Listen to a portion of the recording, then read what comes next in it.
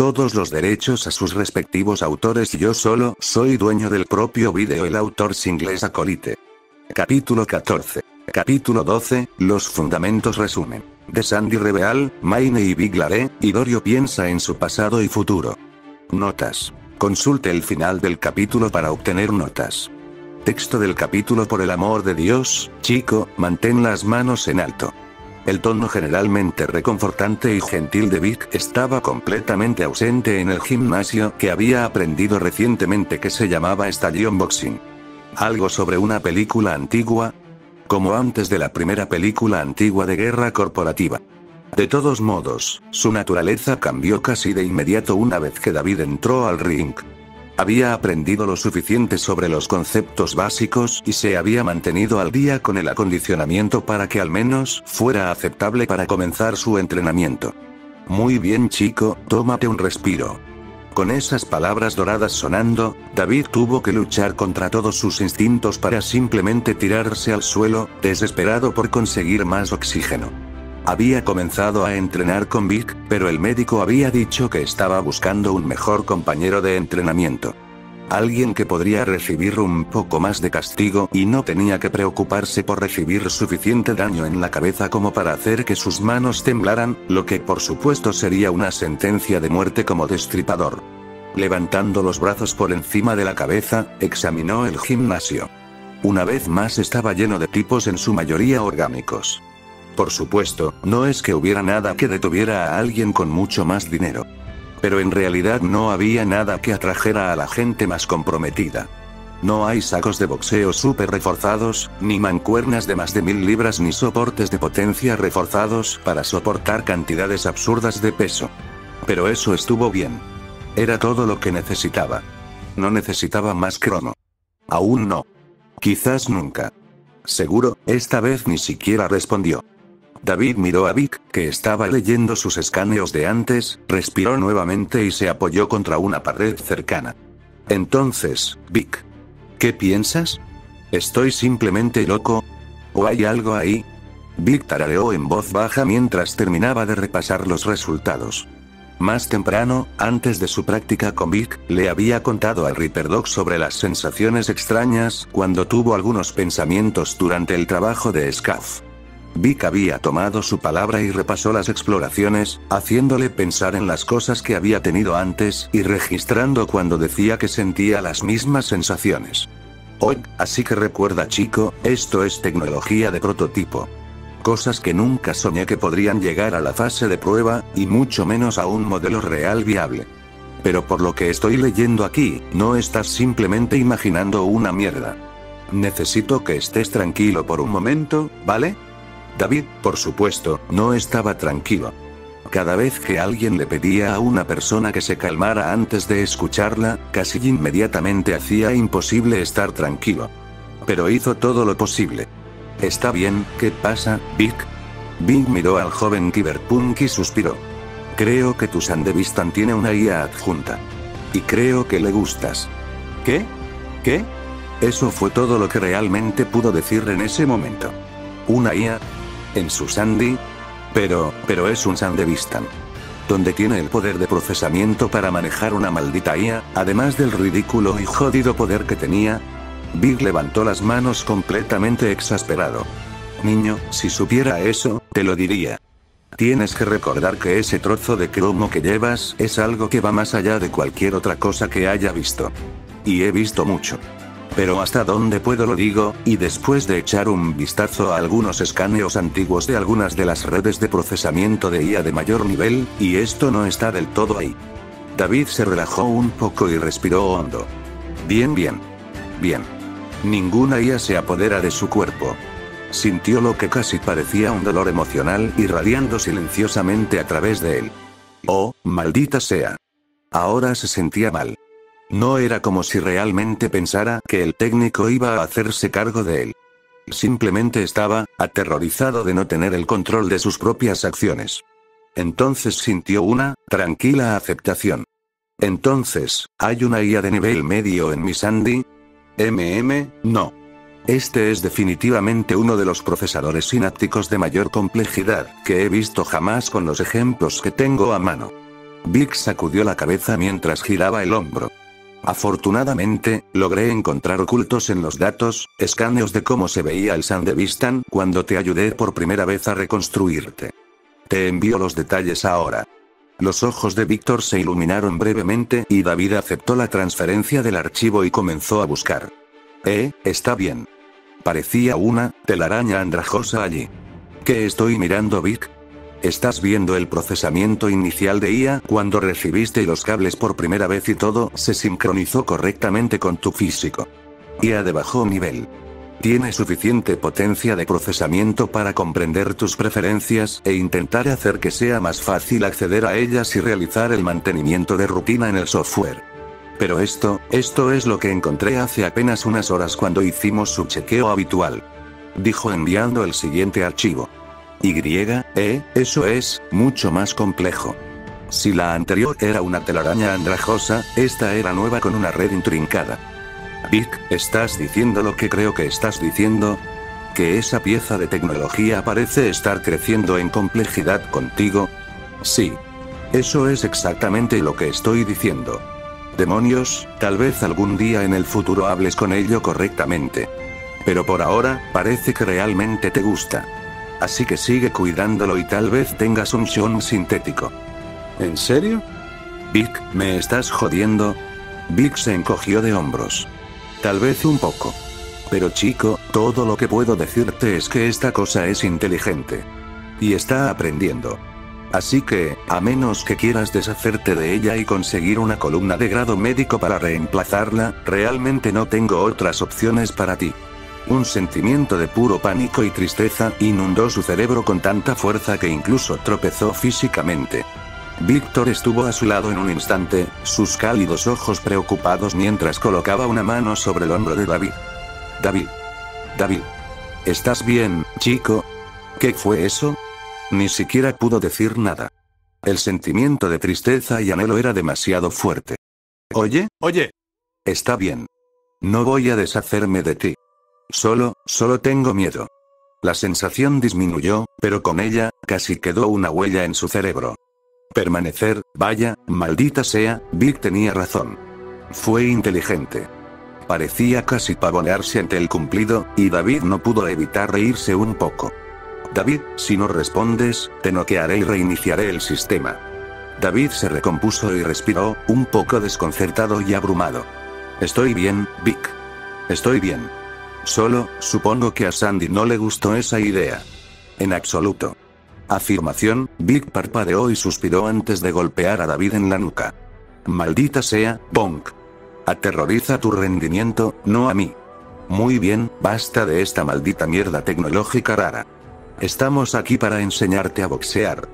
De vuelta al ring. David se frotó la nuca tímidamente mientras hacía precisamente eso. Pero antes de que pudieran volver al combate, escuchó una voz familiar. Oye. Así que aquí es donde has estado yendo, Daur. David se giró confundido para ver a Maine y Dorio en el edificio, Maine dándole una pequeña sonrisa descarada y Dorio mirándolo con sus ojos firmes y su pequeña sonrisa. Maine. Dorio. ¿Qué están haciendo ustedes aquí?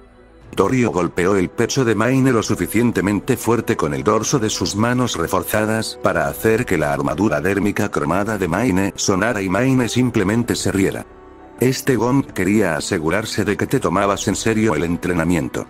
Y tenía curiosidad por ver cómo te manejabas en el boxeo, ya que a mí también me gusta subir al ring de vez en cuando. David podía ver a qué se refería. Todavía era bastante nuevo, pero no tenía la sensación de que no creyeran que pudiera manejarse solo. Lo había demostrado con el Scaff Joe. Pero cuando no estaba usando a Sandy, bueno. No era exactamente Morgan Blackhand renacido. Por eso lecciones como estas eran tan importantes. Probablemente también debería volver al campo de tiro y practicar más. Le preguntaría a Becca si quería ir. A ese duende siempre le gustó disparar mierda. G. Literalmente disparando. Pero entonces tendrías que pensar en ella, y en lo que has estado evitando, hizo una mueca en silencio y lo apartó. Hoy no. No, no ahora mismo. Necesitaba concentrarse. Bueno, realmente no lo sé. Solo he dejado que Vic me guíe en todo. Vic, ¿qué piensas? Fue solo entonces que David se dio cuenta de que Vic estaba mirando a Maine con esa mirada analítica mezclada con frustración. A tu nuevo recluta le está yendo bien, Nelson. Es un buen estudiante. También es un buen paciente. Esa última frase parecía estar dirigida bastante claramente a Maine y el gran hombre le devolvió la mirada, Darkly. Te diré lo que te dije la última vez, Vic, nadie conoce mi cuerpo como yo. Entonces me encantaría saber por qué no escuchas cuando dice que necesitas una maldita puesta a punto. Estoy buscando al menos cuatro fabricantes diferentes. Víctor finalmente sacudió la cabeza y se volvió hacia David. Necesito volver al entrenamiento del niño. Es bueno verlos a los dos, pero si no hay nada más, Maine se burló y miró a David. Cuando te pongas algo de peso en tu cuerpo, ven a verme. Te llevaré a un gimnasio adecuado con algo de peso real. ¿Vienes, Torio? La rubia amazónica miró fijamente a David por un momento antes de volver a mirar su entrada.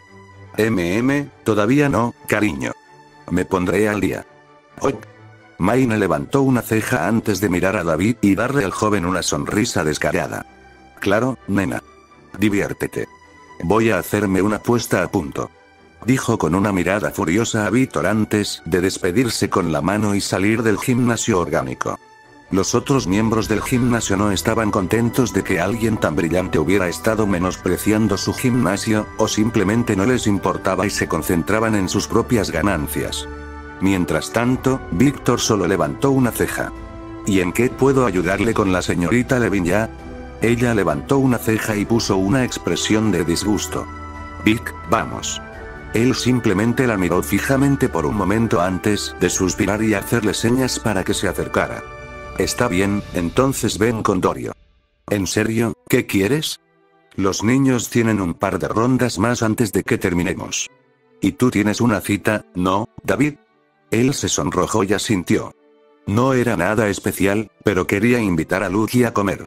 A pesar del estado general de Night City, había algunos lugares que, si bien eran económicos, servían comida decente y tenían un buen ambiente. Torio solo le dio a Víctor una pequeña sonrisa. Entonces, ¿quién es el compañero de entrenamiento del niño? No eres tú, ¿verdad? Siempre dices que no quieres correr el riesgo de que te suene la campana muchas veces. Víctor le dio una mirada irónica antes de ceder y asentir. Sí, he sido yo.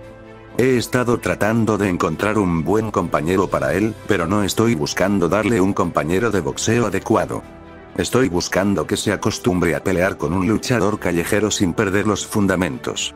Desafortunadamente, eso es más difícil de encontrar de lo que piensas, y Jaque no ha estado por aquí últimamente, creo que está en México en este momento.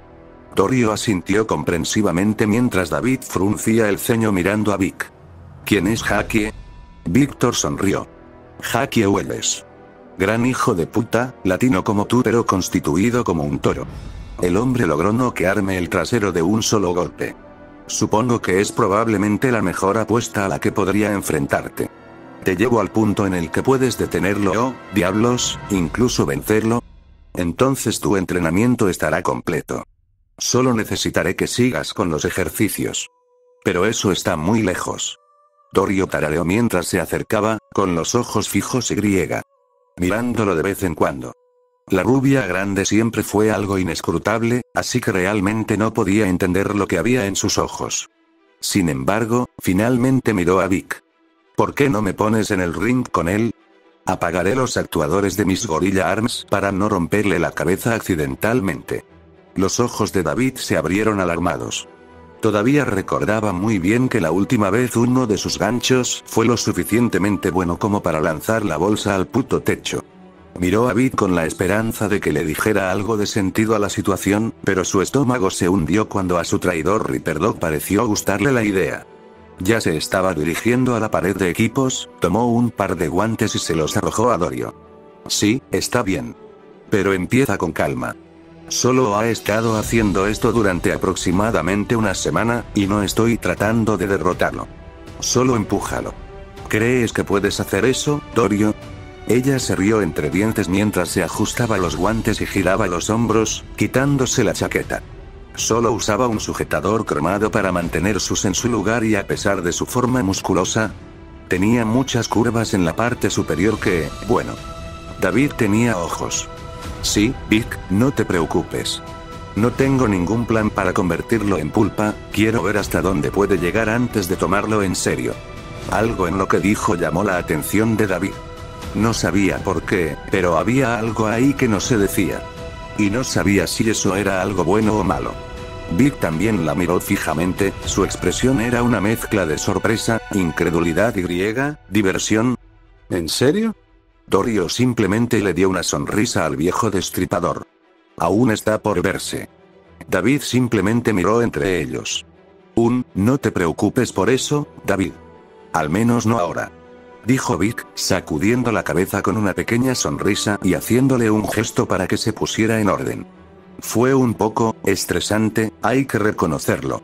La última vez, nunca había puesto un pie en un ring con Dorio, listo para enfrentarla en un combate. Ella pareció entenderlo y se relajó un poco, bajando los guantes.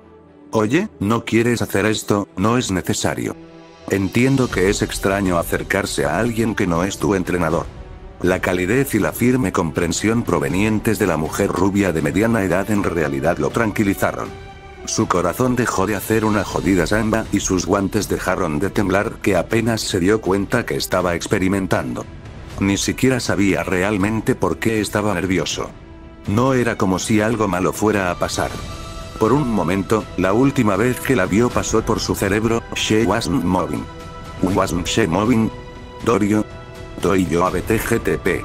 Neno WLAN, no, GDDN David. Inhaló profundamente, con la garganta apretada, mientras se obligaba a levantar los guantes. Estoy bien. Hagamos esto. Tenía que estar preparado. Dorio Levin ya siempre había sido una mujer física mientras crecía en Night City. Lucha. Maldito. Forrajeo. Cuando era niña, su padre había sido un empleado corporativo de bajo nivel, mientras que su madre era una hoitoy. Independiente mientras pudiera durar antes de que algunos pandilleros de la calle 6 dejaran en claro que tendría que tener un gerente, si quería trabajar en su esquina. Muy pronto, papá había asumido la culpa por alguna tontería que había hecho la alta dirección, y ellos, lo habían despedido. En todos los sentidos de la palabra. Básicamente, mamá simplemente se cerró después, perdiéndose en las drogas y el libertinaje. Dorio nunca culpó a su mamá por perderse. Pero sí la culpaba por dejarla sola en una ciudad a la que no le importaba nadie. Algunas mujeres se habrían convertido en joitois. Quizás convertirse en Mox si tuvieran suerte. Pero aunque no despreciaba a las mujeres que lo hacían, Dorio era una luchadora. Entonces, a los pocos meses de golpear y golpear a cualquiera que pensara que la adolescente rusa rubia y escuálida era una presa fácil, conoció a Silvia. Una masa descomunal de mujer, con un torso más parecido al de un hombre con solo una de las enormes de la mujer que desmiente cierta feminidad. Silvia había sido parte de los animales y seguían una línea de pensamiento diferente a la de la mayoría de Night City. En lugar de volverse enormes con Shrome, se volvieron enormes con las hormonas. Esteroides. Cada vez más inyecciones químicas a medida. Entonces, cuando reclutó a Dorio, bien. Hubo buenos momentos y hubo malos. Por lo que valía, ahora le gustaba su cuerpo. Ella era grande. Fuerte. Y tenía unas S como sandías y unos muslos que podían aplastar la cabeza de un hombre incluso cremados. Bien. Lo había hecho antes de sufrir la lesión. Pero independientemente, ella estaba feliz. Tenía una buena línea principal que la mantenía satisfecha. Él era igual que ella en su disposición a buscar romance o sexo ocasionalmente. Tenía un buen equipo. Tenía buenos chops. Y ahora, G, mientras lideraba el combate contra el novato, se dio cuenta de que podría tener un nuevo objetivo. David no era un boxeador natural, era obvio. Pero en lo que era bueno, era en recibir instrucción, y luego ampliarla. No necesitaba que le dijeran qué hacer o cómo hacerlo cada vez. Y mientras le permitía dispararle un par de veces al torso, gruñó en aprobación de que él también parecía estar ganando fuerza física. No lo suficiente como para derribarla, pero dale tiempo, estaba considerando seriamente hacer algo con su miembro más nuevo.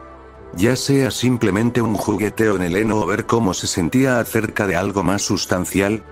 Sí. Ella piensa que podría hacer eso.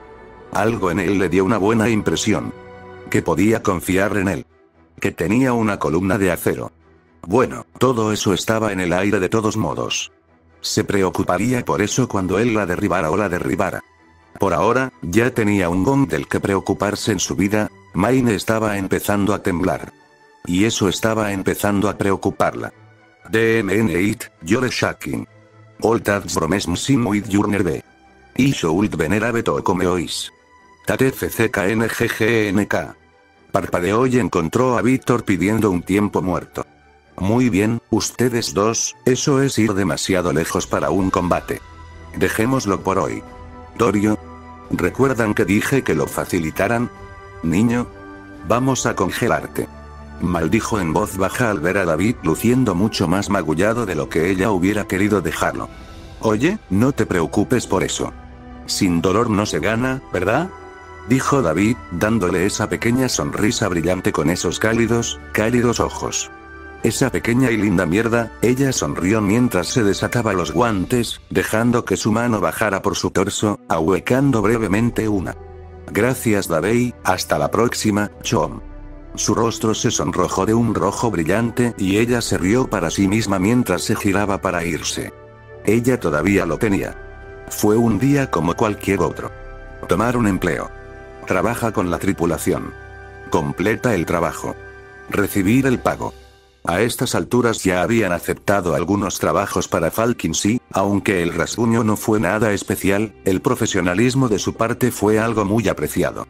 Nadie parecía tener malas palabras para su reparador, ya que el hombre siempre pagaba a tiempo y era excepcionalmente meticuloso en sus preparativos.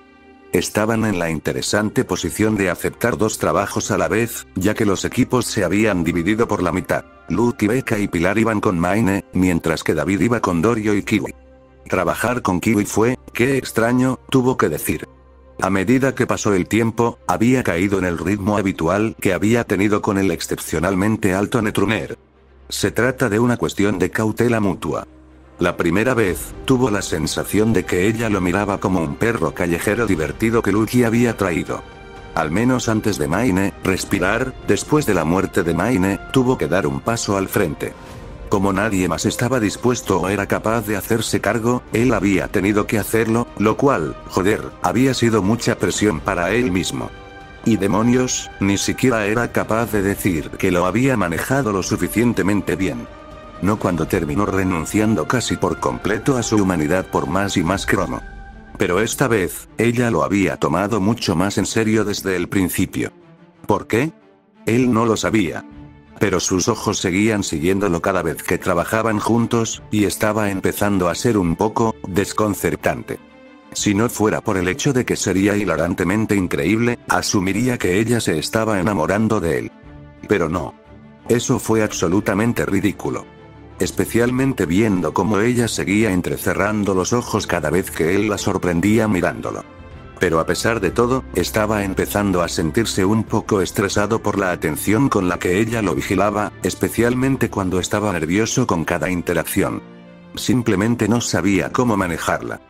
Pero cuando terminaron el trabajo, una simple recuperación de datos y un rescate vi por qué estado entre los equipos, se relajó mientras Luke caminaba aparentemente tan rápido como podía sin parecer apresurada e inmediatamente envolvió sus brazos alrededor de su torso, enterrando su cabeza en su cuello. Llevaba unos instantes esperando en el bar donde habían celebrado su primer trabajo y parecía que iban a hacer otra pequeña fiesta para celebrar un concierto impecable.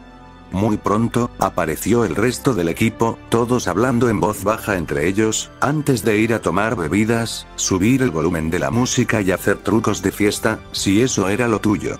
Pilar, hola Luce, escuché que todo salió mal por tu parte, Nova. ¿Estamos a punto de cobrarnos? Ella asintió contra él, sin molestarse en retroceder para mirarlo. MMMHMM. Nada especial, pero 10.000 remolinos cada uno para una hora de trabajo no estuvo tan mal. Los trabajos son mucho más fáciles de realizar que los de Faraday con lo detallado que es Falkins.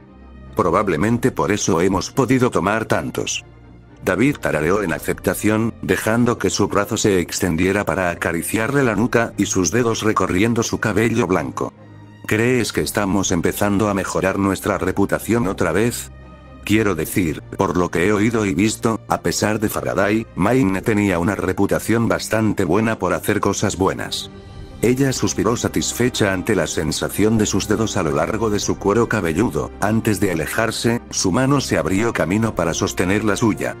MMM, ha estado haciendo esto durante mucho tiempo. Lo suficiente como para que el hecho de que todavía esté vivo sea impresionante. Es un mercenario que ha existido durante casi una década. Eso significa algo en esta ciudad. Desafortunadamente, eso se agrava con el hecho que destruyó su reputación al trabajar con Faraday durante algunos años. Tenemos suerte de que el imbécil se haya dado cuenta al no pagarnos nuestra bonificación. Finalmente abrió los ojos de Maine. Fue entonces, cuando estaban a punto de acurrucarse en un rincón y escuchar música, que los ojos de Maine se iluminaron por una llamada. Y por lo que parece, no parecía contento. Pero con un gruñido, colgó y se dirigió hacia David y Lucky. Lo siento, Lucky, pero necesito tu opinión. Tengo un trabajo para ti. David frunció el ceño mientras se enderezaba, Lucky tampoco parecía complácida mientras se aferraba al brazo de David, enterrándolo profundamente entre sus grandes pechos, alzando la voz en desacuerdo. Acabamos de terminar un trabajo en Maine. ¿Qué necesita Jeff de nosotros tan pronto? Él hizo una mueca. No es Falkins. Es Faraday. Los ojos de David se entrecerraron inmediatamente. Ese pedazo de mierda, Pensé que el propósito de esto era salir del bolsillo de Faraday. Maine asintió, aceptando las críticas en la barbilla. Lo es. Pero cuando comencé a trabajar con él, hice una garantía. Que cuando trabajara en trabajos más grandes, no consideraría el trabajo terminado, hasta que se completara el objetivo general.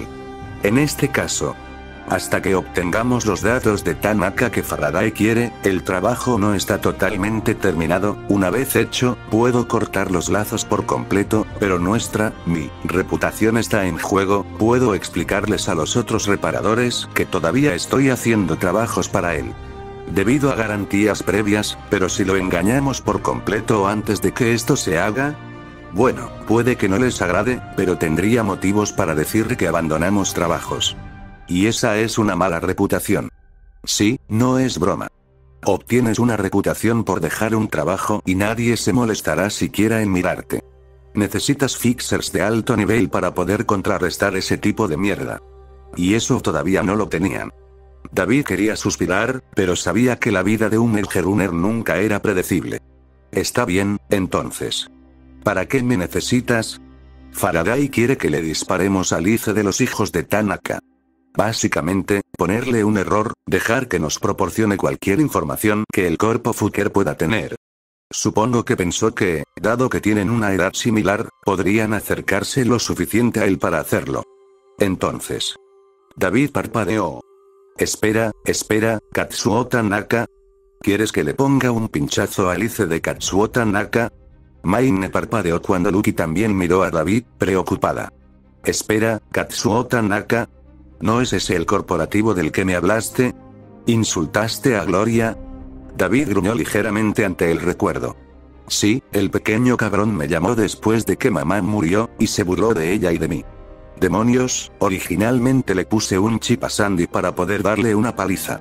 me parecía capaz de morder el acero con lo rígida que estaba su mandíbula, antes de parpadear. ¿En serio, chico? ¿No podrías darle una paliza a un mocoso corporativo sin cromo militar experimental? Lucky también parecía de reojo. David se sonrojó de vergüenza.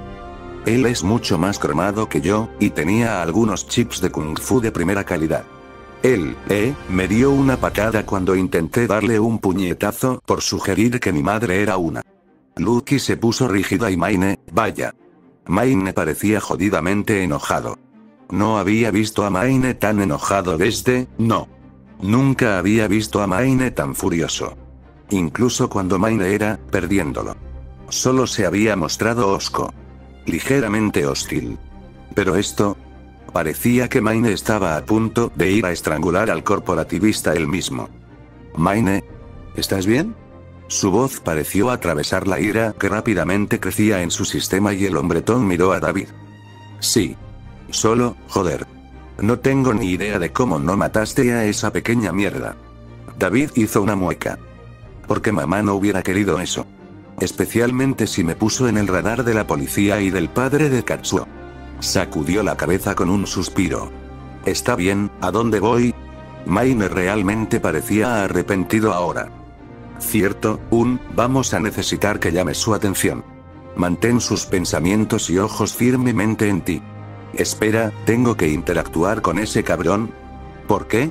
Fue entonces cuando Kiwi se les había acercado sigilosamente a espaldas de Maine. Porque voy a ser yo quien introduzca el pico en sus sistemas. Sin ofender, Lucky, eres más fuerte que yo para romper Ice, pero yo soy mejor para pasar desapercibido. La Netrunner de cabello blanco no parecía molesta, solo asintió y apoyó la cabeza contra su hombro, aparentemente pasando por alto el hecho de que los ojos de Kiwi se entrecerraron minuciosamente antes de girarse hacia David. Demasiados cocineros en una cocina y todo eso. Así que tú y yo vamos a hacer esto por nuestra cuenta, será divertido. Esclarecedor. Los propios pensamientos de David no eran tan brillantes. En cambio, se preguntaba si sería capaz de mantener la boca cerrada con el otro Netruner del equipo. Se las había arreglado para mantener las cosas en su mayor parte, cordiales. Si no era amistoso, Kiwi había hecho más o menos lo mismo. Pero los dos podían sentir la tensión que tenía el otro y eso los había llevado a desconfiar el uno del otro. Afortunadamente, nadie pareció darse cuenta, y casi en silencio e inconscientemente, los dos habían acordado no hacer su disputa más pública. Trabajando juntos. Pero solo ellos dos. Eso no le dio exactamente la mejor de las vibraciones. Lucky solo asintió y le dedicó una pequeña sonrisa, sus ojos se iluminaron con una llamada. Lucky, deberías aceptarlo, David. Realmente no has tenido la oportunidad de interactuar con Kiwi uno a uno y. Por un momento pareció tímida. Lucky. Ella es una especie de mentora. Una especie de hermana mayor. De todos modos, ella me ha ayudado mucho antes. Ella fue la que garantizó que me uniera al equipo de Maine, así que significaría mucho para mí. Si pudieras conocerla. Ella es un poco inteligente, pero estoy seguro de que una vez que te conozca, le gustarás casi tanto como a mí. Nunca pudo negarle nada a Lucky. Ni siquiera esto. David. Oh, qué hermosa, haré el trabajo. Intenta conocerla. Miró a Maine y asintió. Está bien. Lo haré. Kiwi impidió que Maine respondiera y agarró la chaqueta de paramédico de David por el cuello y lo puso de pie, casualmente y con frialdad lo obligó a seguirlo, mientras Lucky y Maine parecían desconcertados. Bien. Terminaremos en una o dos horas. Vamos, novato. Sus protestas fueron ignoradas hasta que abordaron un car donde ambos se sentaron, Kiwi finalmente se soltó y se reclinó casualmente mientras cruzaba las piernas. Por una vez, el encarte estaba completamente vacío. Tenían todo el coche para ellos solos. ¿En serio? ¿Era necesario? Él se quejó mientras él también se ponía cómodo mientras se acercaban a su destino, donde quiera que fuera. No. Dijo simplemente, su voz completamente desinteresada mientras miraba por la ventana. David simplemente quería estar tranquilo, quedarse callado, terminar este trabajo e ir a pasar tiempo con Lucky nuevamente. Pero algo en Kiwi se le estaba metiendo en la piel. ¿Hay algún problema Kiwi? Ella lo miró con una sensación de apatía bien desarrollada. ¿Por qué habría un problema, novato? Apretó la mandíbula. En primer lugar, sigues mirándome cuando no estoy mirando. En segundo lugar, sigues llamándome novato cuando todos los demás me llaman David. Y en tercer lugar, porque respondiste mi pregunta con otra pregunta. Entonces, ¿cuál es el problema? No hay ninguno. Estás imaginando cosas. Mierda. Ella fingió un tono de irónica sorpresa. Oh Dios. Qué contundente. Es un milagro que Lucky te aguante. Él parpadeó. Espera, ¿esto es sobre Lucky? Ella se puso rígida por un momento antes de mirar hacia otro lado. No dije nada de eso. Vayamos al grano. Sin embargo, David logró superar su intento de redirigir la conversación. No te jodas. ¿Por qué tienes un problema conmigo y con Lucky? Kiwi finalmente se volvió hacia él, con el cuerpo tenso y los ojos entrecerrados. Porque no tiene sentido. Eres solo un chico punk de 17 años y, sin embargo, puedes manejar ciberware experimental como si nada. Estás logrando cada trabajo que te asignan. Y además de eso, básicamente tienes todos en la tripulación comiendo de la palma de tu mano. Se le heló la sangre. Por supuesto, la única persona que se daría cuenta y decidiría que no podía dejarlo pasar sería el jodido Kiwi. No es que no tuviera suficiente motivo para estresarse tal como estaban las cosas. Solo estoy tratando de hacer un buen trabajo. ¿Por qué es tan difícil de creer que estoy tomando el Gerunin en serio? Sacudió la cabeza con disgusto antes de girarla para mirar hacia el lado opuesto del Nkar, cruzando las piernas mientras no decía nada por un momento. Dices que has notado que te miro fijamente. Bueno, de vuelta a ti, Punk. Cada vez que estoy cerca y me miras, parece que te estás conteniendo para no hacerme flatlining. Y yo sé que nunca te había conocido antes, entonces, ¿qué es lo que no te gusta que alguien se interponga entre tú y mi protegido? David siseó consternado. Por supuesto que ella lo notaría.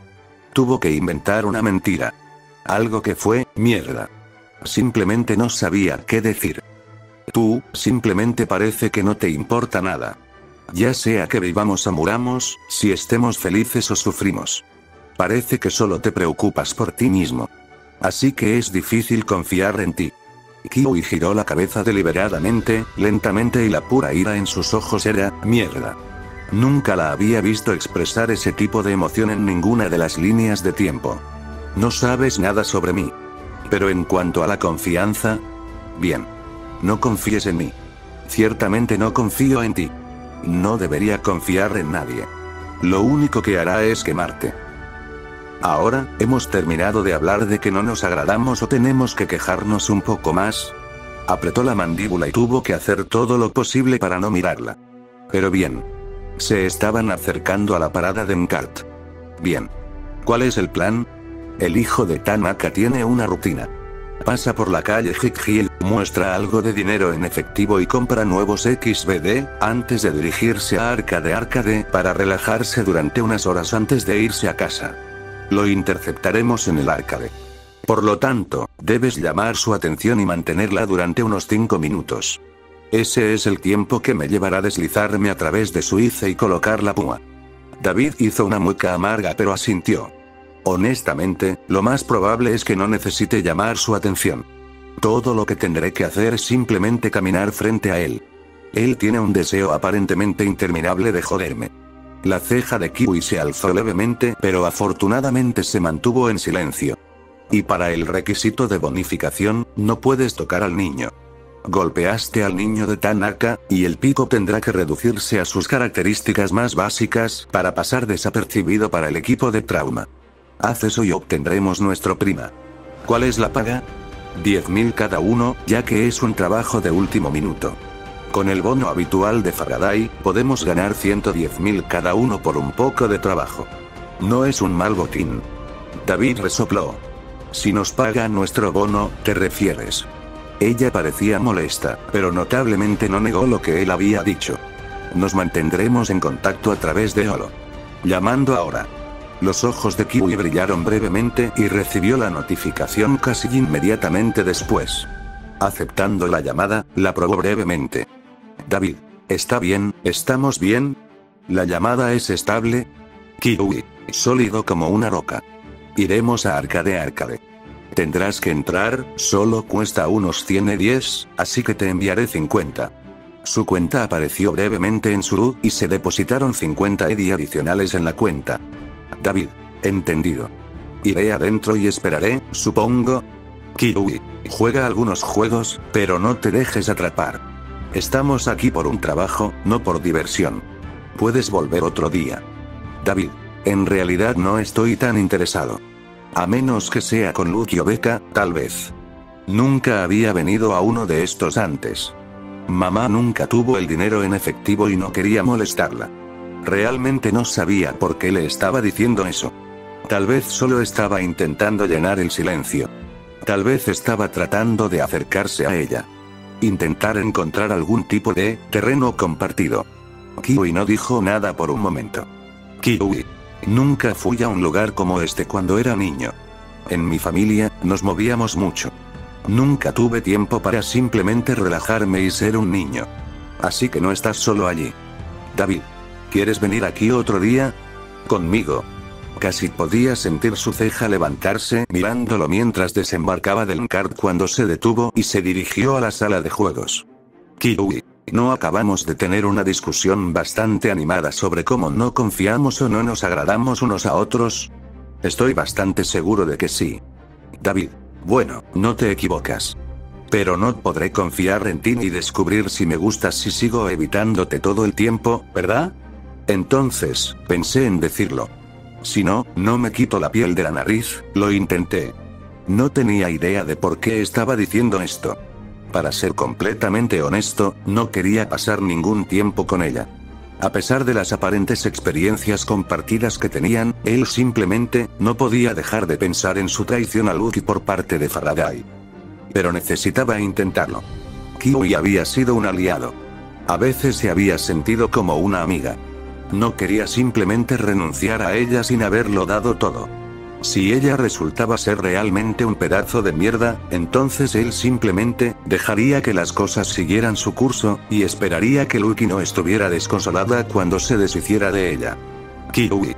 Ya veo, y mi propio disgusto y desconfianza hacia ti. David. Míralo como una oportunidad para vigilarme más de cerca. A mis series además. Se hizo un silencio mientras David pagaba su entrada y comenzaba a dar vueltas, comprobando algunas de las cosas que tenía a mano. Por supuesto, había algunas cosas de gama alta. Braindances, realidad virtual, etc. Pero también había algunas actividades de la vieja escuela que no mucha gente hacía. Como aros de baloncesto para entradas digitales. Entonces, mientras se preparaba para intentarlo por un tiempo, Kiwi finalmente dijo algo. Kiwi. Parece vivo, novato. Katsuo Tanaka se dirige hacia adentro y tiene algunos de sus parásitos con él. Voy a piratear la subred ahora para conectarme. Te diré cuándo llamar su atención. David.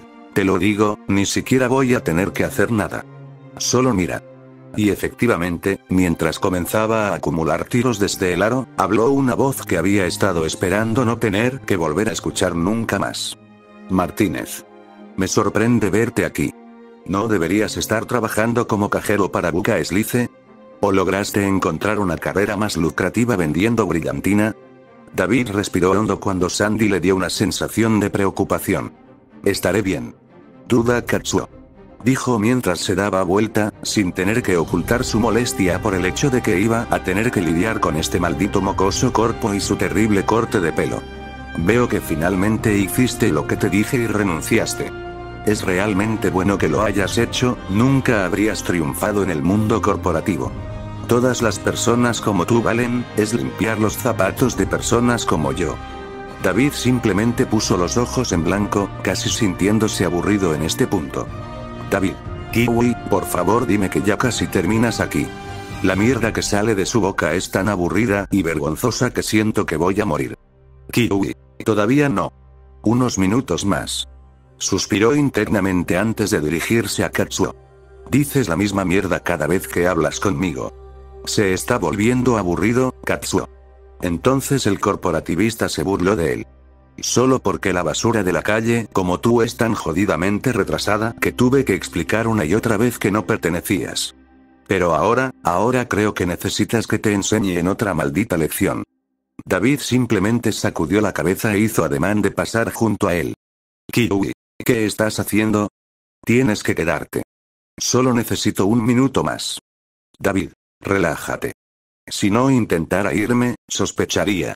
Así es como siempre reaccioné. Oh, ¿sabes qué? Ya no necesito escuchar esta mierda. Ni siquiera somos compañeros de clase, y seguro que no somos amigos. Así que, de verdad, vete a la mierda. Oh, pero no quieres intentar recuperarme por todas las cosas desagradables que dije sobre tu mani. Todo se congeló por un momento. No debido a Sandy, pero incluso Sandy parecía haberse congelado. Katsuo. Si tienes algo de sentido común en tu cabeza, mantendrás tu puta boca cerrada. Kiwi. David, sintiendo que había tocado un punto muy sensible, Katsuo no retrocedió. En cambio, dobló su apuesta con gusto. ¿Y por qué debería hacerlo? Honestamente, deberías estar feliz de que tu basura de madre esté muerta. Ahora no tienes que vivir con la vergüenza de saber que ella estaba todas las corporativas que podía para mantener tu estúpido trasero en la academia. Demonios, ella tampoco era tan mala. En realidad, ¿sabes qué? Me entristece que se haya ido. Me hubiera encantado tenerte un hermano al que cuidar. Kiwi, mierda. David solo, joder. Dame solo 30 segundos. Se sentía casi entumecido. La ira fría y maliciosa que sentía era tan, tan aguda que casi lo corta. Podría sacar su hierro ahora mismo. Usa a Sandy para secuestrarlo y separarlo lentamente con todo tipo de implementos. Y solo piensa, todo ese esfuerzo, y básicamente la traicionaste al abandonar la escuela. Supongo que eres estúpido y un hijo terrible. Apuesto a que se alegra de estar muerta. De esa manera no tuvo que vivir con la decepción que te tenía como hijo. Kiwi. Listo. Me dirijo hacia ti, David. Solo mantén la calma. Tú, no sabes nada, pedazo de mierda. Susurró, las palabras casi un silbido de odio mientras miraba hacia otro lado, sabiendo que si miraba al cabrón a los ojos, no se detendría hasta que su cráneo se convirtiera en un montón de papilla. Ja, supongo que aprendiste la lección de no levantarme la mano después de que te pateara el trasero de basura callejera por todos lados. Dios, ¿por qué no te pusiste a cero después de todo eso? Mamá murió, te patearon el trasero, no puedes pagar la escuela, qué patética tontería, fue entonces cuando David fue salvado por la última persona que jamás había esperado. David. Ahí estás, lamento haberte hecho esperar. El tono de los kiwis era mucho más alegre que en una conversación cotidiana. La mujer alta pasó corriendo junto a Katsuo, y sus dedos ligeramente fríos acariciaron íntima y casi seductoramente sus mejillas. MMM, perdóname bebé. Kiwi. Sigue el juego, Bonk. David puso una pequeña sonrisa en su rostro y dejó que sus manos agarraran firmemente las caderas de la rubia Netruner, haciendo que ella se sonrojara y jadeara en silencio. Por supuesto. ¿Quieres irte? Dijo mucho más casualmente de lo que sentía. Katsuo, por supuesto, no se estaba tomando esto muy bien. Oh, ya veo dónde estás gastando el dinero que debiste haber obtenido vendiendo todo lo que tienes. ¿Un hoitoi? ¿En serio? Bueno, entonces debería liberarte de ella también. Tú. Mujer. Te pagaré el doble, lo que sea. Martínez pagó por tu tiempo. Kiwi se limitó a mirarlo con desinterés y desdén. HM, Corpobrat agitando el fragmento de crédito de papá. No estoy interesado. Y con eso, dejó atrás al imbécil corporativo, sosteniendo la mano de David mientras lo sacaba de arcade arcade. La mirada en el rostro de Katsuo, oh, David recordaría esa mirada de ira autorizada por el resto de su vida. ¡Qué risa! Pero cuando Kiwi bajó la mano una vez que estuvieron a una cuadra de distancia, David solo tenía dos cosas que decir. Gracias. Pero, ¿por qué me ayudaste? Podría decir que simplemente no quería arriesgar su bonificación. Seguro. Eso era en parte cierto. También podría decir que no quería que el aporte de Lucky terminara en la cárcel por esa noche. También es cierto. Pero la verdadera verdad era, te mantuviste firme mientras él decía algunas cosas realmente duras contigo. Somos socios en esta operación, así que te apoyé lo mejor que pude, sacándote de allí. Y tenía que admitir, aunque solo fuera para sí misma, a ella le gustaba ser mimosa con él. Mientras hacía netrunning, corría naturalmente fría, con mala circulación mezclada con sus baños de hielo habituales. Era una buena almohadilla térmica, y su cuerpo era casi totalmente orgánico, así que tenía mucha carne suave en lugar de cromo inquebrantable. Gracias Kiwi. Dijo en voz baja, dándole una mirada que era, increíblemente cálido, completamente desprovisto de su habitual decepción que parecía grabada en su mirada al mirarla.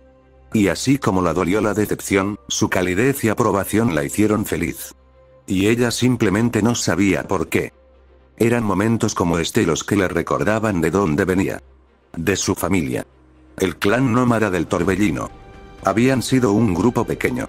No tan grandes como los Aldecaldo, pero sí lo suficientemente grandes como para poder ganarse la vida dignamente.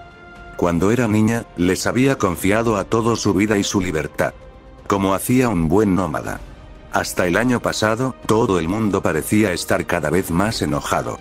Como si estuvieran hartos de trabajar con otros y solo quisieran tomar y tomar. Habían asesinado a otras familias nómadas y robado a los clanes. Casi todos decidieron ir ellos mismos a Raffenschiff. Y luego cuando ella había dicho lo que pensaba, intentó que se recordaran a sí mismos. La habían vendido a Scats. Los Scats podrían haberle cortado la mandíbula, pero fue su familia la que había roto su confianza. Ese día le habían roto algo. Los nómadas se construyeron en torno a la confianza, la familia y la libertad. La pérdida de todo eso de una sola vez por parte de las mismas personas que debían protegerla. Bien. Ahora ella lo sabía mejor. M. Mestiquindo H. Oku. Te Justeñe T. Bebe Youri. Everjon TRRNNS on yo, Ome Poi Torotro, GTHRFRM Ella parpadeó antes de sacudir la cabeza brevemente y dirigirse al nuevo, no. David. De nada, David. Y en cuanto a esa oferta de ir a la sala de juegos, lo pensaré. Ahora lo sabía mejor. Bien, con la nueva oportunidad de vida de David y la posterior revelación de que su Sandevistan no solo era terriblemente más poderoso de lo que jamás podría imaginar, sino que también estaba impulsado por un sistema de inteligencia artificial en constante evolución. Era como caminar por la vida con un código de trampa cuando se trataba de combate. Pero como te diría cualquier jugador, si juegas con códigos de trucos con demasiada frecuencia, cuando finalmente te veas obligado a jugar de forma natural, sufrirás una pérdida de habilidad bastante expansiva. Por eso David no usó a Sandy cada vez que iban a trabajar. Solo cuando había una emergencia o Maine le daba la orden de irse. Sandy no lo había entendido al principio, pero afortunadamente, ese programa de aprendizaje lo había logrado en aproximadamente un día, comprendió incluso las complejidades más pequeñas de su deseo de no usarlo solo para cada pequeño problema. Sin embargo, eso no significa que a veces no se arrepintiera. Para este concierto, Maine le había dado a él y a Becca el visto bueno para encargarse de esto por su cuenta, ya que el pago habría sido bastante patético con un grupo más grande. Solo con él y Beca. 5K cada uno fue una buena cantidad de cambio. Al principio no había sido un gran negocio, simplemente sacar algunos tigers de un edificio que un cliente de Falkins quería adquirir.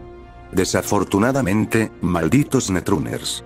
Gruñó de frustración cuando sus ópticas parpadearon y tuvo que sumergirse detrás de un vehículo tigerantes de perder el conocimiento por completo.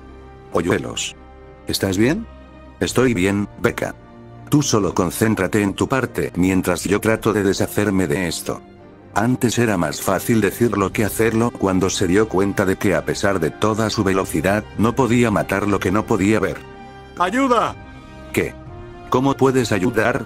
Si no estuviera ya enloquecido por perder su óptica, podría haber estado preocupado porque Sandy aparentemente quisiera hacer algo para ayudar con el tiroteo. Tal como estaban las cosas, estaba lo suficientemente desesperado como para aceptar cualquier ayuda que se le ofreciera. Confianza. Mierda. De acuerdo. Bueno Sandy. Confío en ti. Y tan pronto como tuvo eso, pudo sentir algo. Fue una sensación difícil de describir. Como si alguien más tuviera sus pensamientos, o alguien más usara sus extremidades, todo ello acompañado de una ligera sensación de apretón en su cuello. Pindex se activó, vaya. Joder, vaya. Todavía no podía ver. Pero él podía ver. Era difícil describir cómo el mundo de repente llenó la vista de su mente. Era como, ver solo lo más básico de la existencia.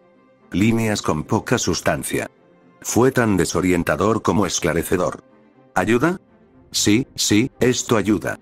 Sonrió mientras mantenía los ojos cerrados, todavía capaz de ver la representación digital del edificio que los rodeaba, y las aproximaciones rudimentarias de las formas humanas. Pudo ver a dos frente a él, avanzando hacia su posición mientras, wow. Simplemente se dio cuenta de que esto le daba una especie de vista completa de 360 grados de su entorno. Definitivamente, ser abrumador como ser humano nunca estuvo destinado a eso. Pero además de causarle un pequeño dolor de cabeza, pudo preparar sus tiros. apareciendo, y una vez más sin hacer uso de Sandy, apretó el gatillo de su Unity dos veces por cabeza, dejándolos caer antes de que pudieran comprender el peligro en el que se encontraban. Sí, tengo que admitirlo. Eso fue jodidamente Nova. Orgullo. G, está bien ahora, parpadeó cuando sus ópticas volvieron a encenderse, las líneas combinadas con su vista restauradas le causaron un poco de dolor de cabeza. ¿Podrías matarlo por ahora?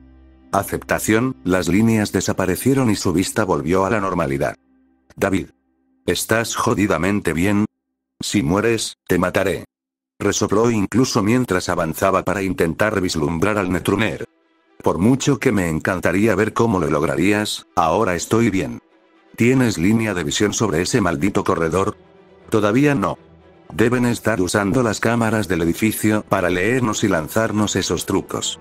Bueno, acaban de usar un montón de RAM para quitar mis ópticas, así que si nos movemos rápido, podemos eliminarlas antes de que tengan suficiente para comenzar a alterar nuestros sistemas. ¿Hay alguna razón por la que no estás usando a ese Sandy tuyo, David? Dijo con curiosidad mientras se reagrupaban frente a la entrada del edificio, en lados opuestos de la puerta. Sandy es básicamente un botón de Yogano. Él respondió mientras se cubrían la espalda subiendo lentamente las escaleras. Estaba a punto de continuar cuando tres garras salieron de su cobertura, con sus rifles listos. Maldiciendo, les arrojó una metralla a todos ellos agrupados, mientras Becca usaba sus pistolas gemelas para mantenerlos distraídos hasta auge. La explosión hizo volar a los Tigers, y también los voló en algunos casos haciendo una pausa solo para tocarlos dos veces mientras yacían gimiendo y muriendo lentamente, continuó lo que había estado a punto de decir. Claro, si usara Sandy todo el tiempo, haríamos estos trabajos al instante, probablemente salvo que necesitemos experiencia que no tengo. Pero eso no me ayudará a aprender a gestionar un tiroteo en tiempo real, ni a aprender cómo hacerlo. Para manejar decisiones en fracciones de segundo. Además, ustedes probablemente perderían su ventaja. Luego sonrió al duendecillo de culo gordo, cuyos ojos estaban muy abiertos y ansiosos mientras salían del edificio. Además, probablemente me matarías si siguiera robándote todas tus muertes. G, ¿me conoces bien, Chom? Dijo con una brillante sonrisa salvaje mientras lo examinaba suavemente con la cadera y él le daba un empujón en la espalda. Tomando aliento, David volvió a concentrarse mientras miraba a su alrededor. Muy bien, Becca, ¿cómo quieres manejar esto? Ella parpadeó y una sonrisa más suave de la que él jamás esperó ver surgió de ella cuando estaban en medio de un trabajo. Malditos hoyuelos. Ella murmuró, apenas lo suficientemente alto como para que él la oyera.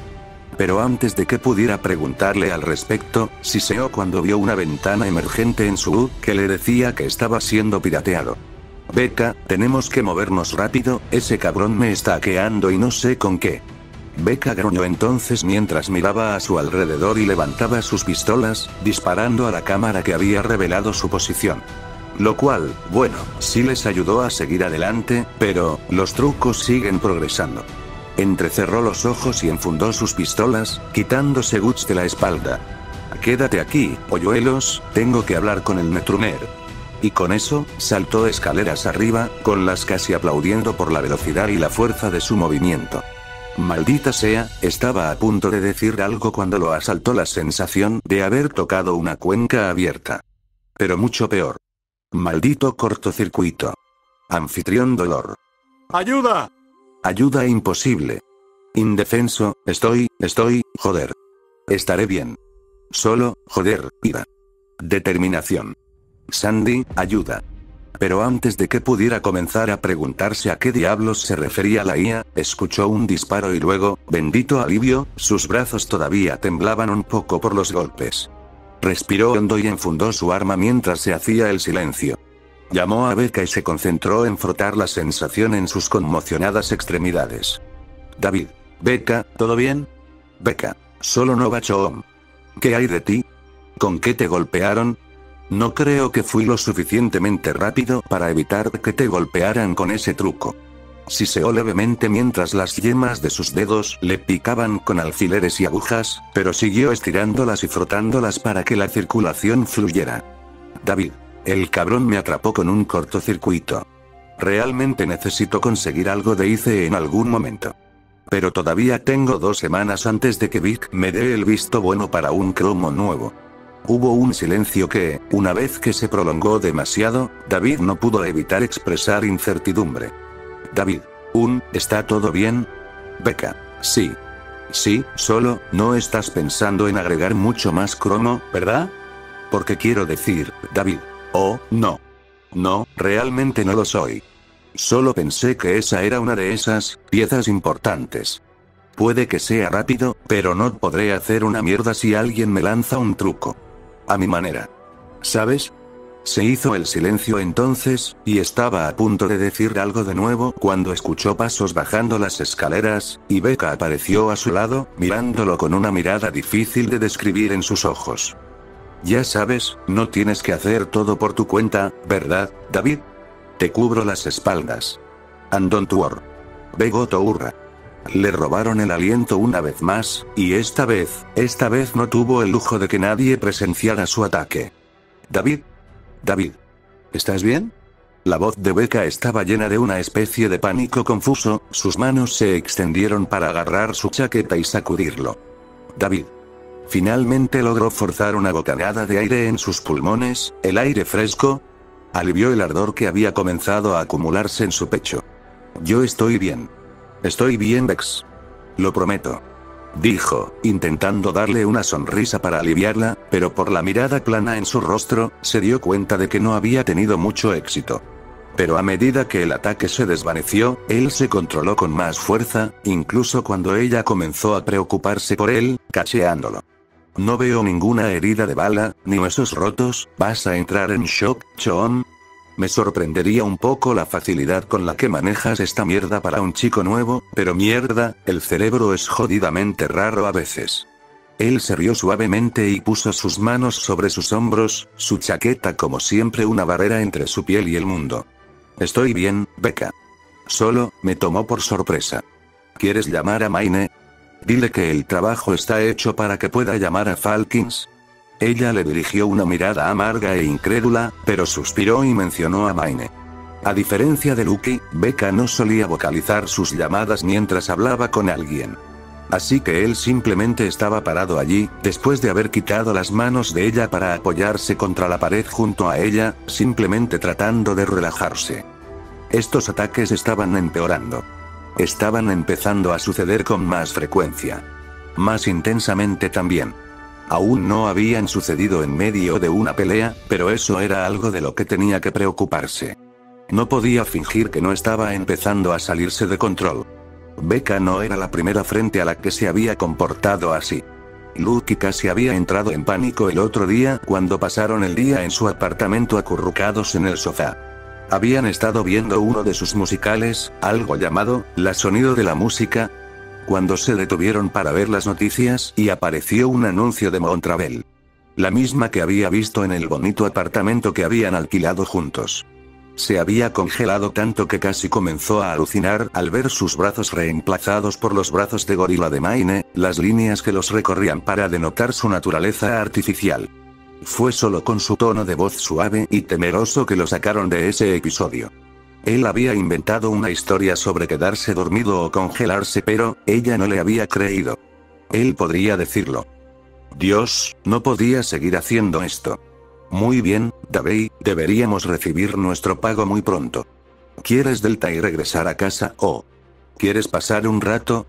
Preguntó con un tono vacilante, casi reacio. Mirándola, era casi como si realmente quisiera estar con él, al mismo tiempo que esperaba que ella dijera que no.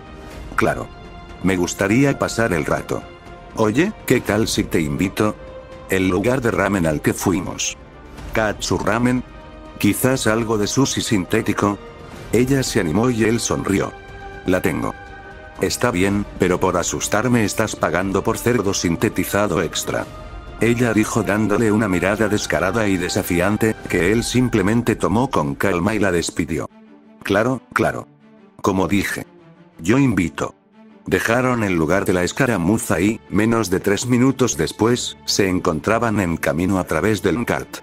Seguro que podrían conseguir un taxi o algo así, pero, sinceramente, David estaba más que feliz de pasar mucho tiempo con su mejor chom.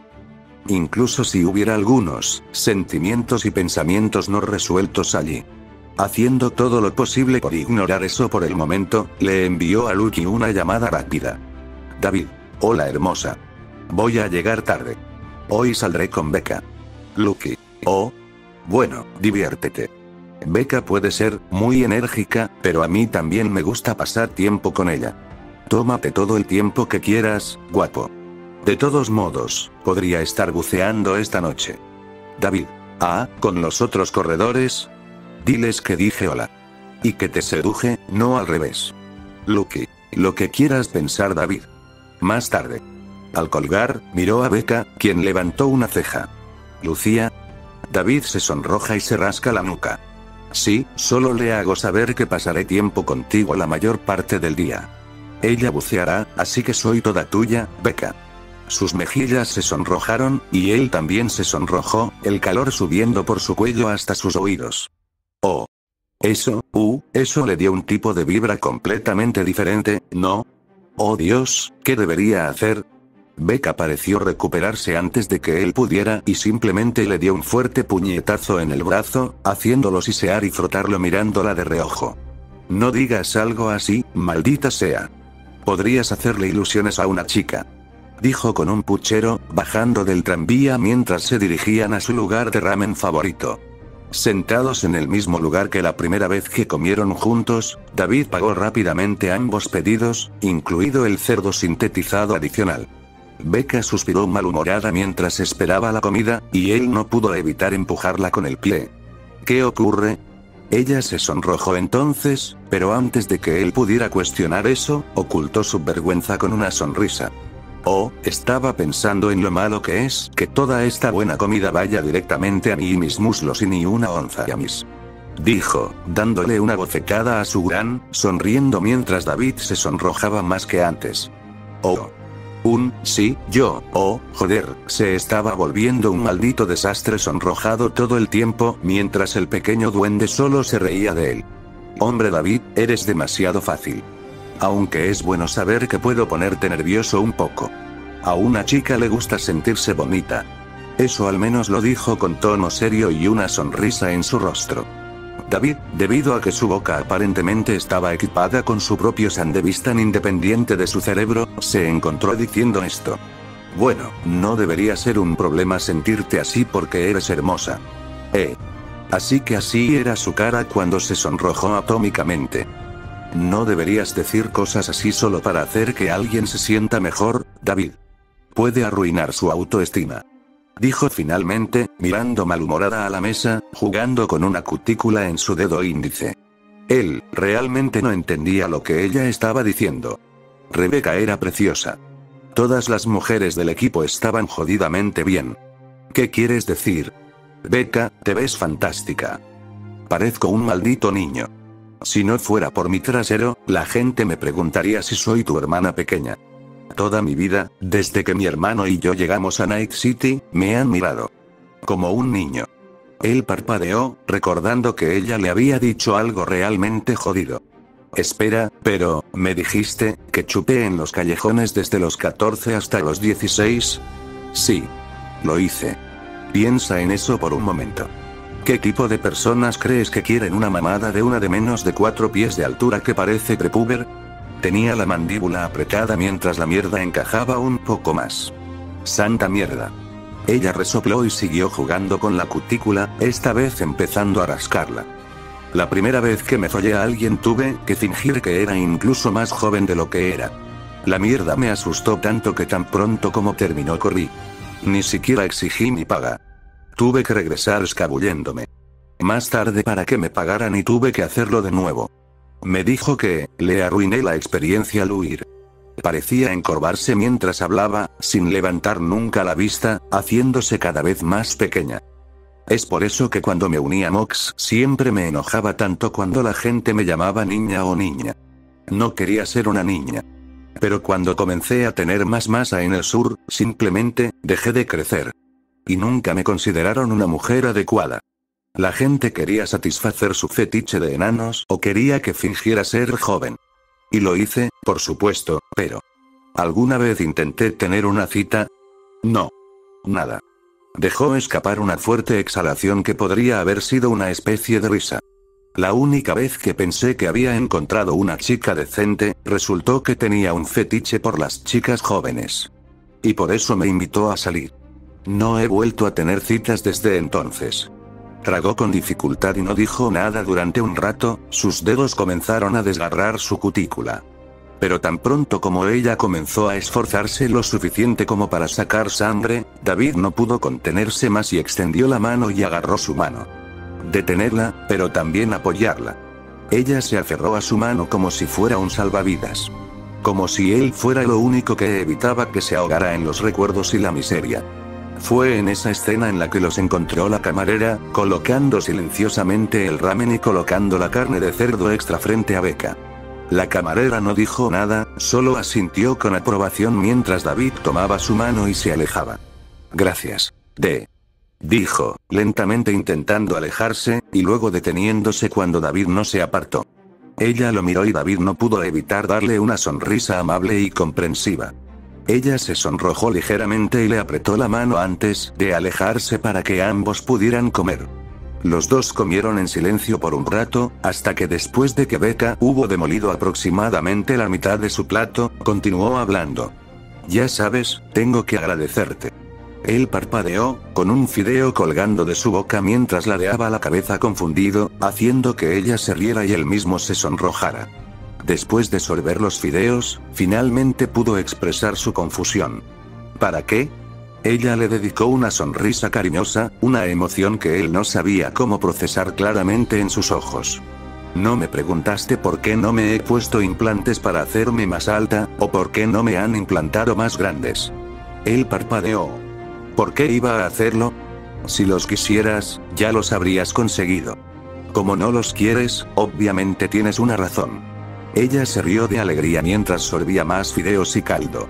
Y esta es una de las razones por las que me gustas, Dimples. Presta atención. Tienes razón. Podría volverme más alto. O tener más grandes. Pero honestamente, realmente no quiero ser más alto. Me siento cómodo siendo la altura que tengo, incluso si hace la vida un poco más difícil, además hace que sea más fácil golpear a alguien en la ingle. Dijo con un guiño malvado y haciendo que David hiciera una mueca juguetona. En cuanto a las, ella se encogió de hombros. Honestamente, no me importaría tener unas enormes para equilibrar mi trasero. Parece que podrían ser divertidas. Pero, miró hacia abajo brevemente, antes de volver a mirar hacia arriba, casi avergonzada. Yo solo, quiero que alguien me mire, por mí, ¿sabes? No solo como un recipiente para vivir su perversión. No como una versión más aceptable de mí. Solo, yo. ¿Sabes? Yo no, yo no. No quiero saber que la única razón por la que alguien vino conmigo fue por mis nuevos implantes. Ella pareció dudar antes de hacerle una pregunta, sus dientes mordieron su labio inferior. ¿Es eso tonto?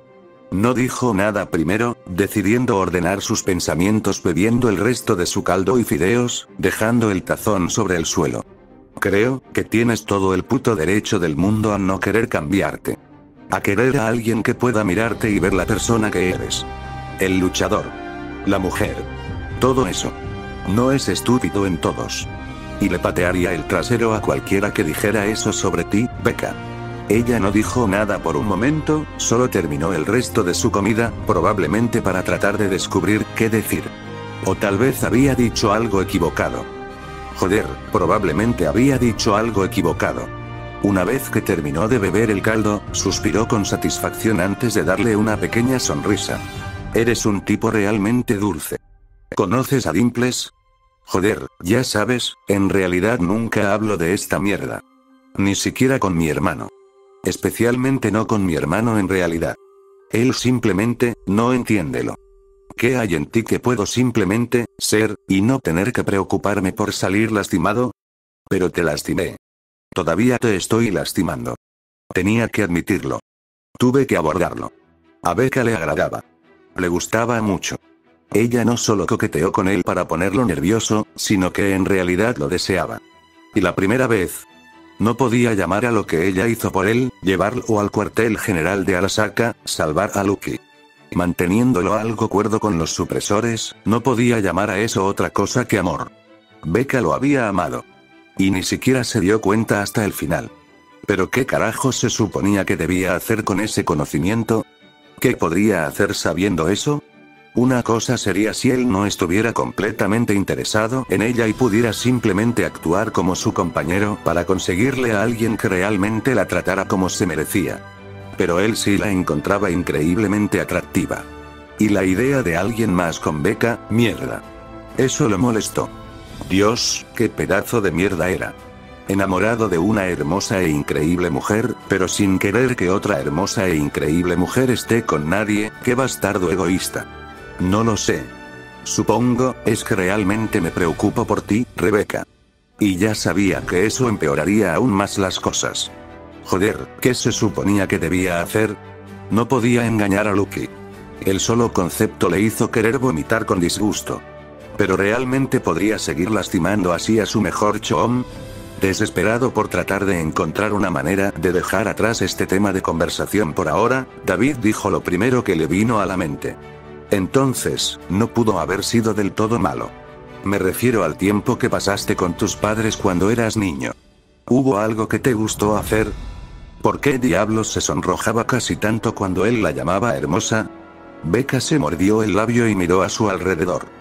Te lo diré, pero tienes que prometerme que no se lo dirás a nadie más. Lleno de curiosidad, asintió inclinándose hacia adelante. Ella suspiró y se cubrió la cara avergonzada. Soy un jodido nerd, ¿vale? Me encantaba leer libros. Mucha mierda de ciencia ficción. Parpadeó y una sonrisa de alegría apareció en su rostro. Nada de mierda. No me jodas. ¿Ese tatuaje en mi muslo? Petarik. No es solo una broma sexual. Es un viejo, muy viejo autor de ciencia ficción. Rebeca lo miró a través de sus dedos. ¿No crees que es una tontería? PFFT. No, Debería contarte sobre mi viejo y estúpido pasatiempo antes de unirme a la tripulación. Pero antes de que ella pudiera preguntar al respecto, él sonrió. En realidad, tengo una idea. Vamos. Pagó el ramen y le dejó una buena propina a la camarera que había sido tan tranquila al darles su comida, y la llevó al cart. Oye. ¿A dónde me llevas? Hizo un puchero mientras se unían a los pasajeros de Encart. Prefiriendo la privacidad como siempre, decidió llamarla. David. Es una sorpresa. Te lo prometo, te va a encantar. Él sonrió mientras tomaba asiento, y ella le hizo un puchero, antes de sonreír, sentándose casualmente a su lado, antes de girarse y dejar sus piernas en su regazo. Rebeca. Oh. Bueno, me gustan las sorpresas. Así que supongo que te dejaré tomar la iniciativa. Pero, Solo si me dices a qué te refieres con tu estúpido pasatiempo. Hizo una mueca y echó la cabeza hacia atrás, cerrando los ojos. David. Muy bien. Solía vender XBD de este asqueroso destripador de traseros. Nombre del doc. Podía sentir su sorpresa mucho antes de abrir los ojos para mirarla. Rebeca. Eh, nunca, nunca te imaginé como alguien que entró en esa escena. ¿Los, los viste? David. Tuve que hacerlo. No voy a mentir, lo odié al principio. Vomité mucho. Probablemente tenía, 13. Sí. Aproximadamente 13 cuando jugué XBD por primera vez. Mierda horrible. Gui era un, un animal, creo. Se volvió loco con el juego y literalmente estaba arrancando extremidades a la gente. Becca parecía jodidamente horrorizada y él no sabía por qué. ¿Había compartido demasiado? Rebeca. ¿Por qué viste esa mierda de David? Podrías haberte frito el maldito cerebro si esa mierda no estuviera correctamente sintonizada. A la mierda las historias que Judy podría contarte. Y. Espera, Doc, maldito doctor. Borg. El maldito idiota que te desgarró mientras estabas totalmente consciente. David. Sí. Bueno, mamá podría haber estado ganando suficientes series para gastar en mi educación, odiaba usar ese dinero en ella misma. Entonces, a unas tres semanas del cumpleaños de mamá, Doc me hace una oferta. Vendo algunos BD especiales a los cabrones ricos con los que fui a la escuela, y él me daba una parte. Pero yo mismo tenía que ver los BD. Tenía que saber lo que estaba vendiendo, dijo. Pero, en el lado positivo, pude comprarle a mi mamá algunas flores reales. Los guardó hasta que se marchitaron. Había estado realmente orgulloso de eso. La sonrisa en su rostro valió todo. Pero, Becca no estaba sonriendo. De hecho, Becca parecía enojada. Lo supo porque esa no era la molestia en sus ojos al dispararle a Pilar. Esta era la rabia en sus ojos cuando escuchó la voz de Kiwi en la radio en su camino a Arasaka. Rebeca, recuérdame por qué no hemos fladlinet, cabrón. David, porque matar aleatoriamente a un destripador no es una buena idea. Consigue una mala reputación al hacer eso. Rebeca frunció el ceño y agarró su brazo desde donde estaba sobre sus piernas. Rebeca, te merecías algo mejor que eso, David. Eres una mierda. Eres un muy buen tipo. Y bueno, no llegué a conocer a Gloria tanto como hubiera querido, pero ella tomó bebidas y comida con nosotros a veces. Y cada vez que se emborrachaba, sacaba fotos tuyas y hablaba de lo mucho que te amaba, de que eras la luz de su vida y de que estaba jodidamente orgullosa de ti. Tragó saliva ante eso, teniendo que parpadear más rápido para que las lágrimas desaparecieran. Extrañaba a su madá. Y escuchar que hablaba tanto de él, que ella tenía tanta fe en él, le hizo sentirse muy privilegiado de haber sido su hijo. Lástima que terminaste convirtiéndote en todo lo que ella nunca quiso que fueras. Los pensamientos intrusivos fueron cortados cuando el kart se detuvo en el centro de la ciudad, y Becca movió las piernas, levantándose y estirándose, su chaqueta apenas cubría sus enormes de la vista, las bragas que llevaba básicamente se habían convertido en una tanga. Muy bien Davey, ¿a dónde quieres llevarme? Se aferró ansiosamente a su plan con ambas manos, guiándolos fuera de la estación y por las calles. Tomó un poco, pero finalmente, la biblioteca, dijo con incredulidad mientras miraba la no tan bien mantenida biblioteca municipal de Burroughs, una de las pocas bibliotecas públicas en Night City. Se sonrojó y apartó la mirada tímidamente. Bueno, sí. Dijiste que te gustaba leer cosas cuando eras niño, así que, pensé que podríamos pasar un rato en la biblioteca y podrías mostrarme algunos libros que te gustaran. Hubo silencio por un segundo, antes de escuchar un pequeño resoplido. Se giró para mirar la Y. Oh mierda, estaba llorando. Y de hecho, ella no estaba llorando. Al menos no del todo, pero se estaba empañando bastante y tenía la sonrisa más brillante y trémula que jamás había visto en su rostro. Becca. ¿Estás, estás bien? Ella soltó una carcajada antes de golpearle suavemente el brazo, sonriendo mientras lo miraba con los ojos todavía brillantes. Estoy más que bien, David. Tú, maldito idiota. Dijo con una gran cantidad de afecto audible en su tono mientras lo abrazaba fuerte, con la cabeza hundida en su estómago. Él dudó por un momento antes de abrazarla firmemente, sus manos sobre sus hombros y la parte posterior de su cabeza con seguridad mientras ella olfateaba unas cuantas veces más. Vamos David. Dijo mientras finalmente se alejaba, toda energía maníaca y entusiasmo otra vez. Tengo tanta mierda que mostrarte. Justo detrás de ti, Rebeca. Malditos hoyuelos y que sea más dulce que el jarabe de sintetizador. Rebeca no estaba acostumbrada a hablar con la gente sobre sus miedos, sus experiencias, sus inseguridades. En la ciudad de noche, eso fue básicamente como tocar el timbre de la cena para cualquiera que estuviera buscando un objetivo fácil, ya fuera sexo, repuestos o simplemente manipulación. En su mayor parte, incluso con Showms intentabas evitar que tu parte más vulnerable quedara expuesta. De lo contrario, nunca sabes cuándo alguien se agacharía y te arañaría. Pero aquí estaba ella, dándose vuelta, exponiendo su suavidad, su miedo, su inseguridad y ansiedad a un chico, un joven del que estaba empezando a darse cuenta de que no era solo un enamoramiento. Y no arañó. No cortó. Prácticamente se agachó y le dio un masaje en el vientre. Maldita sea, ni siquiera estaba cachonda en este momento, pero se sentía pegajosa y cálida por dentro mientras lo arrastraba a la biblioteca, miraba los fragmentos disponibles y le mostraba algunos de sus favoritos. Entonces, esta es en realidad mi serie favorita que solía leer cuando era niño. Principalmente por lo rara que era. Y sin embargo, tenía sentido.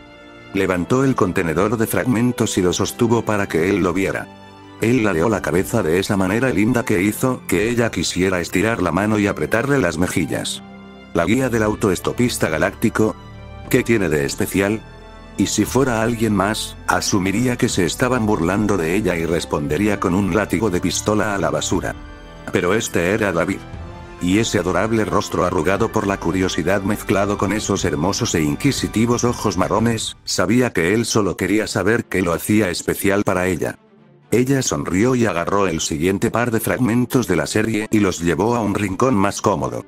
Tenían que meterse pero, mierda, ella nunca perdería la oportunidad de estar cerca de él, incluso si se hubiera prometido a sí misma que no sería una rompehogares.